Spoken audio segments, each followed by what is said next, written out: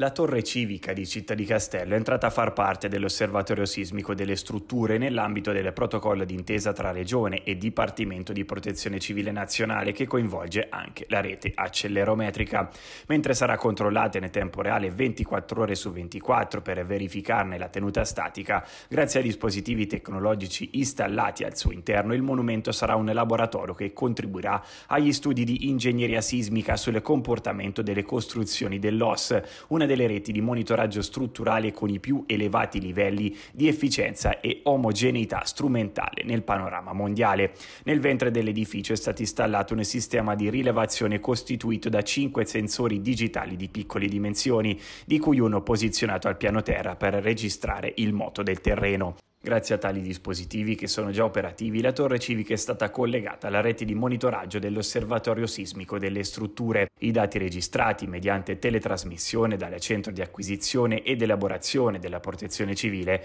saranno diffusi all'interno della comunità tecnico-scientifica e contribuiranno non solo agli studi di ingegneria sismica sul comportamento delle costruzioni, ma pure a valutare le condizioni degli immobili pubblici di interesse strategico monitorati, nonché ad impostare impostare le modalità di risposta della stessa struttura di coordinamento del Ministero per la gestione dell'emergenza sismica.